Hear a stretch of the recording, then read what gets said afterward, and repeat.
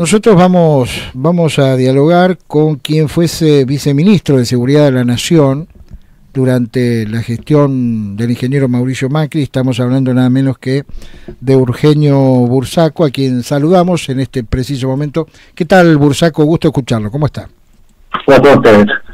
Bien, bueno, gracias por su tiempo.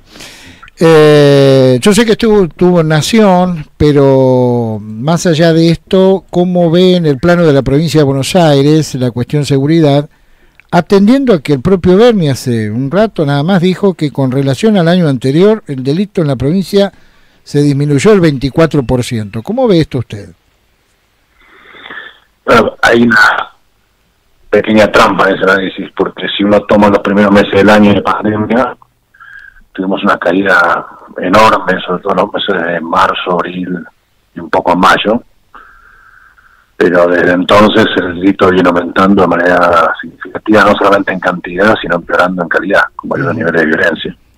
Con lo cual, eh, si uno mira el absoluto del año, estando en el mes 9, probablemente estemos en unos niveles similares, pero porque tuvimos tres meses de caída muy grande, la gente no de su casa. Claro.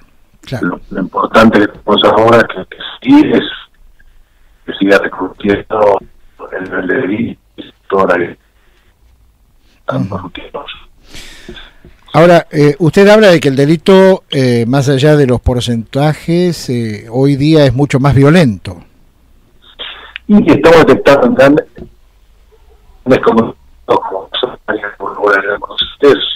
mayores niveles de violencia modalidades que son típicas de esta crisis, que son los, los ingresos en los hogares, las cruces, muchos que saben que la gente guarda dinero en efectivo en sus casas o está en sus casas, entonces decide ingresar en estas.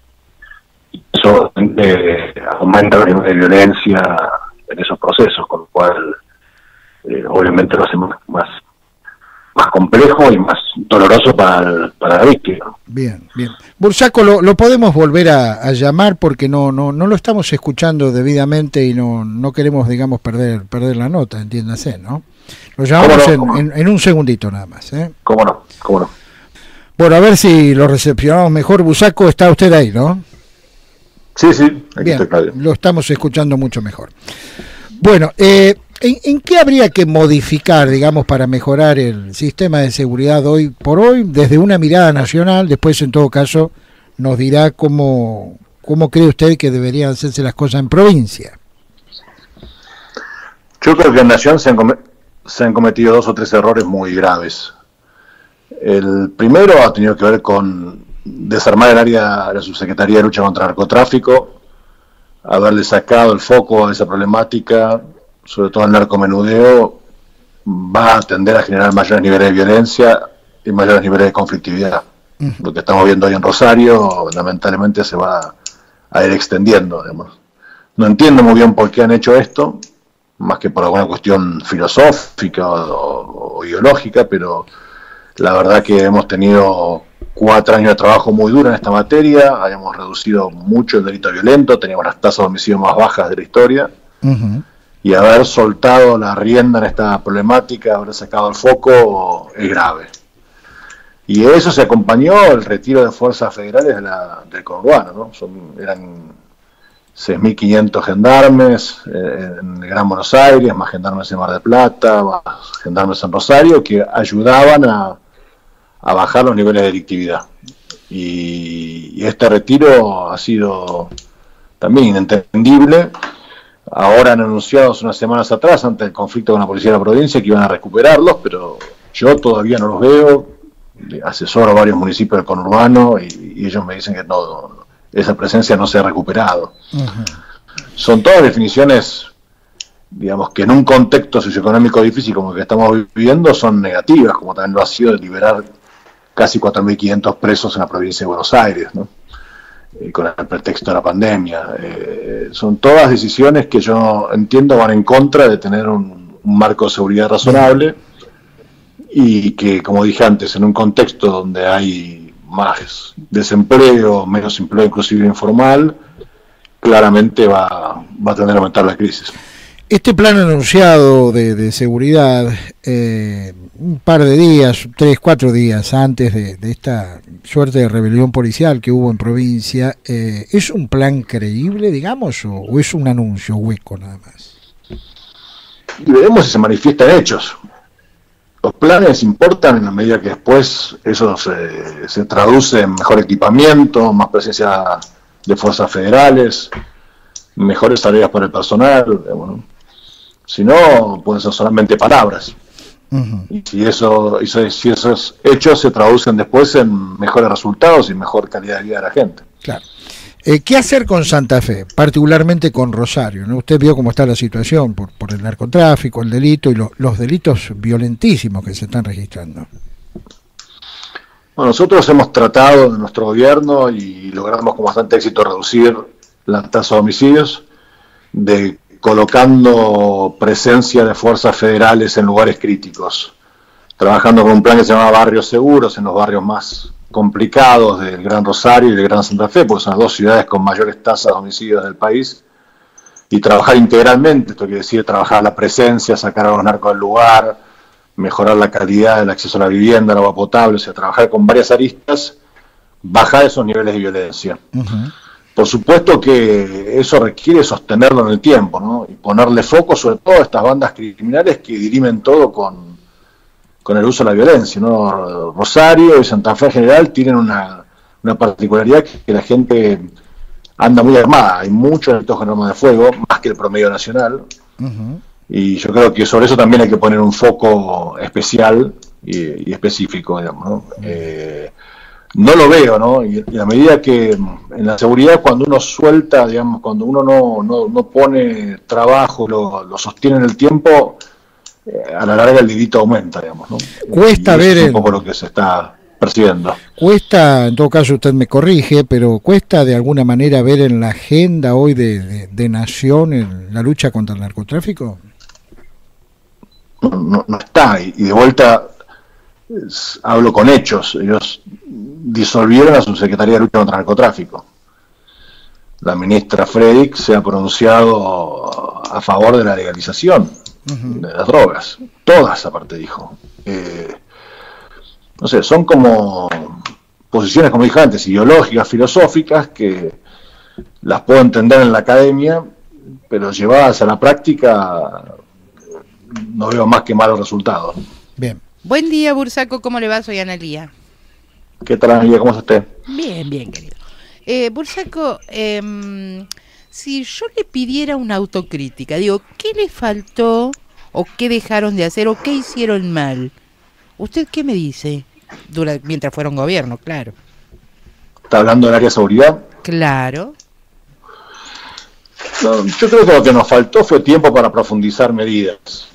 Por ejemplo, nosotros bajamos los homicidios, casi mil homicidios al año en, promedio, digamos, ¿no? que fueron eh, más de dos puntos de la tasa interanual. Sin embargo, la tasa de femicidios permaneció estable, por ejemplo. Femicidio es un delito gravísimo y, y, duro porque requiere mucho trabajo previo para evitar, digamos, para ir detectando las señales previas, digamos, ¿no? cuando empiezan las primeras agresiones a las mujeres y demás, donde tenemos que trabajar y donde lamentablemente muchas mujeres también después desisten de la acción penal y el sistema muchas veces abandona la investigación y el trabajo hasta que termina en un drama, digamos, ¿no? Entonces yo creo que en esas áreas específicas donde hayamos comenzado a trabajar, queda todavía mucho camino por andar, digamos, y por mejorar, digamos, para evitar estos tipos de delitos que son terriblemente graves y que ahora en estas situaciones de pandemia inclusive se han agravado, ¿no? Que son los interpersonales o, los femicidios. Bien, volviendo a la provincia de Buenos Aires, eh, digamos, ¿cómo ve usted el orden de, la policía bonaerense en cuanto a la cadena de mandos? ¿La, ve resentida? ¿La ve reconstruida después de lo que ha pasado? ¿Cómo, cómo ve esa situación? Y generalmente cuando se producen estas rebeliones, la jefatura queda muy eh, lesionada porque a, pues mí me tocó conducir 100.000 miembros de fuerzas federales, la Policía Federal, la Gendarmería, la Prefectura, la Policía Aeroportuaria, y quien se encarga de transmitirle al secretario de Seguridad o al ministro problemas salariales y demás es la jefatura, y es quien tiene que eh, ayudar a resolver los problemas. Por supuesto, después el Poder Ejecutivo tiene que tomar medidas al respecto, pero es cuando se producen estas rebeliones y estas faltas de respeto como las que vimos estos días y demás, y que por, otro lado yo no comparto, digamos, uno puede estar quejarse, pero no en la forma que lo hicieron estas personas. Eh, claramente la conducción queda resentida, digamos. Y, Ahora, sí. Y bueno, sí, sí. No, no termine con lo que estaba diciendo. Yo le pregunto después. No, que, lo que quiero decir es que es difícil después conducir la fuerza eh, ante esa situación de rebelión tan marcada como la que se produjo unas semanas atrás. Y es muy importante que en, la fuerza de seguridad que la conducción sea clara, que se tomen decisiones y que esas decisiones se respeten y se lleven a la, a la práctica. ¿no? Mm. no, yo le quería preguntar, ¿usted trabajó cómodo, digo, en, en, el rol que le tocó en la administración anterior? Le pregunto porque por ahí vio entre los ministros, por ejemplo, se está viendo ahí ciertas incomodidades o ciertas desavenencias. Usted durante la administración, Macri, se, trabajó cómodo en su área, tenía perspectivas claras, digo, no había mucho problema con eso, ¿o sí? No, no, nosotros tuvimos mucho apoyo del presidente, lo cual nos permitía trabajar con, profundidad y teníamos buena, buena, relación con las provincias, que es lo que hoy falta también, ¿no? Eh, el, el, esfuerzo de seguridad es un esfuerzo federal, donde inclusive buena parte de la responsabilidad cae en las policías provinciales y en los gobiernos provinciales, con lo cual la coordinación federal con las provincias es clave para tener buenos resultados. Y nosotros tenemos una buena relación con todos los provincias, todos los colores políticos, le digo. No, no, en esto voy a decir, tenemos buena relación con Córdoba, que viene el peronismo, con Santa Fe, que está el socialismo, digamos. Tratábamos de trabajar en conjunto entendernos, hablarnos, a veces podíamos no compartir eh, definiciones, pero tratábamos de coordinar tareas permanentemente en el campo, que es donde ocurren los hechos. Hoy no se ve eso, inclusive se ven enfrentamientos públicos entre las máximas autoridades de nación y provincia, por ejemplo. Bien, justamente le hago la última y en este mismo sentido, le digamos, la pregunta sería, ¿se puede articular una política de seguridad medianamente potable, aceptable, no digo de las mejores, aceptables, con un tremendo cortocircuito como el existente entre la ministra a nivel nacional y el ministro Berni en provincia?